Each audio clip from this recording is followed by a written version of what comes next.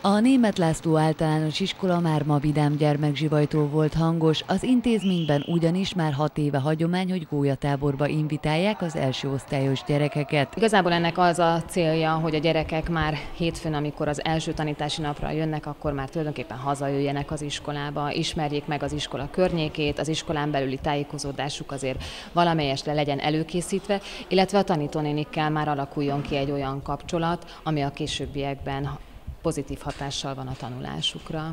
Így 83 kisdiák három napon keresztül kézműves foglalkozásokon és sportprogramokon, izgalmas eseményeken vehet részt az intézményben.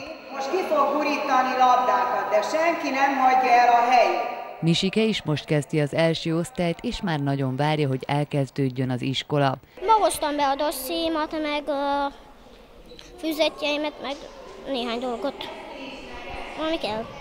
Mercinek csak úgy, mint a gólyatáboros gyerekek nagy részének elnyerte tetszését a sportfoglalkozás. Azt kellett csinálni, hogy elsőnek el kellett menni a könyvtárba, utána játszottunk, utána pedig most már még labdástunk is, tornásunk is.